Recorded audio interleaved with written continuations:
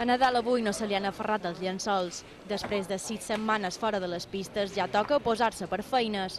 Abans de les 8 del matí ha pres el vol directe a la competició. El destí, Califòrnia. Bé, mateix un pot dormir, perquè he partit molt prest aquesta vegada, no? però, però bé, esperant un, espero un viatge llarg, un de viatges durs de, de l'any i, i bé, amb il·lusió de, de, de fer una bona gira per allà.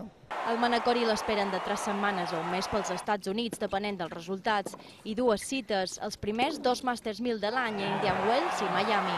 No sempre, sempre fallant una ullada, a més és una gira que a part de, de ser un pot llarga, eh, és guapa, són dos tonatjos que estan molt bé i, i sempre pues, és una gira que a part se m'ha donat malament bé. Tan bé que la temporada passada aixecar la Copa 1 i firmar els quarts de l'altra. Ara el més important és posar a prova el genoll que l'obliga a retirar-se d'Austràlia, una lesió de la qual ja està 100% recuperat. Sempre quan un torna, el primer torneig sempre és un, un poc més de, un poc més de por, però la veritat que, que bé, no? he entrenat bastant bé, sí que amb una línia bastant bona i no, no, en teoria no, no ha de passar res.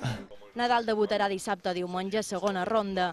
Abans disposa de quatre dies per adaptar-se a les pistes americanes. L'objectiu principal és retrobar-se amb el bon estat de forma en què començar la temporada.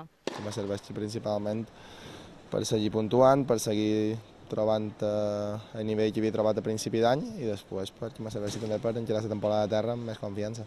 Amb confiança i ocupant la tercera plaça del rànquing, tot i retallar 80 punts la distància amb el seu perseguidor, Andy Murray.